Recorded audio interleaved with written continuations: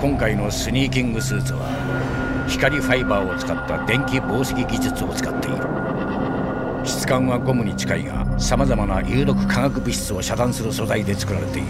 そしてスーツ内には各種センサーも埋め込まれている。軍で研究中のスマートスキンだ。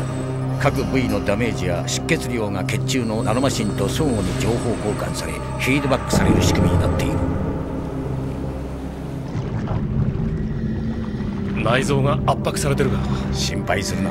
体内の各臓器を圧縮して機能促進と保護を図っているのだ。フ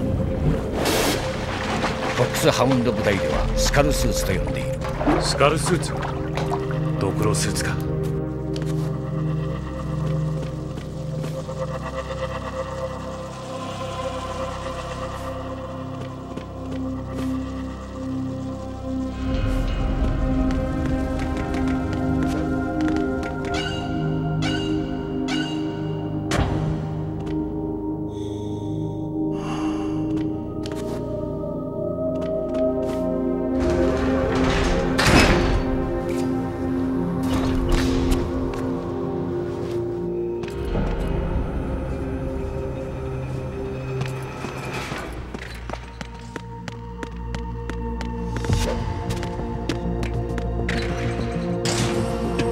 こちらスネークシェルワンの冷却内に潜入した。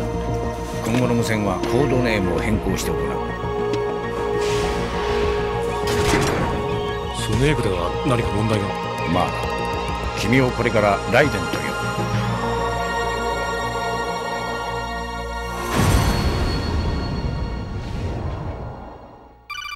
ジャック聞こえる？ローズどうして君が？ああジャック私も作戦に参加するの。本作戦に従事する予定だったフォックスハウンド部隊のオペレーターが事故に遭い参加できなくなった。それで急遽ローズマリー君が選ばれた。実戦サポートなんて無理だ。できっこない。ジャックいい？私は最後まであなたに付き合う。ローズあなたが心配だか一つだけいいか？ら何？彼の名はライデンだ作戦遂行中はコードネームで呼んでくれ。分かった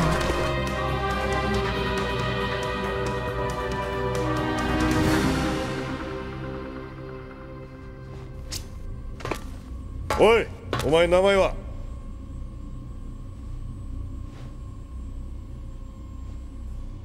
ライデンだ